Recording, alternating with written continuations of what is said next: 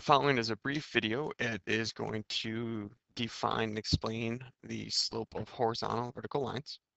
So first let's examine horizontal lines. Horizontal lines will always have a slope of zero. Uh, the reason behind this is because if you have a horizontal line, then the y value is always going to stay the same. It's going to remain zero. There is no y value change. And so it's going to be zero in the numerator. You know, horizontal line extends on forever horizontally if we draw one. And so it does have a horizontal change. So there is going to be a number in the denominator, but it doesn't have a vertical change. So there's going to be a zero in the top and zero divided by anything is zero. And so horizontal lines have a slope always of m equals zero. And the way you can tell from an equation if a line is horizontal is horizontal lines always have the setup of y equals a number. No x variable, just the number itself. And we saw that in one of the other videos, um, earlier videos, when applying slope.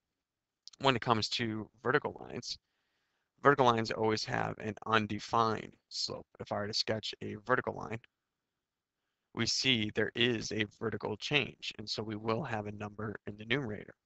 However, there is no left or right movement, and so we have a zero in the denominator.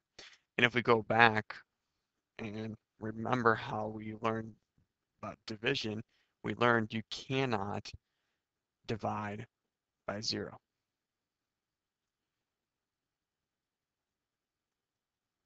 And so we say, since we cannot divide by zero, our slope is undefined. And just like before, vertical lines are going to be of the form x equals a number. So y equals a number is horizontal lines, x equals number is vertical lines.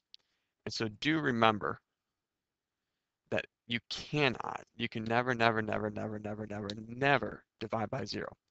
Anytime there's a zero in the bottom of a fraction, the slope is automatically undefined. You cannot simplify it, you cannot divide by zero.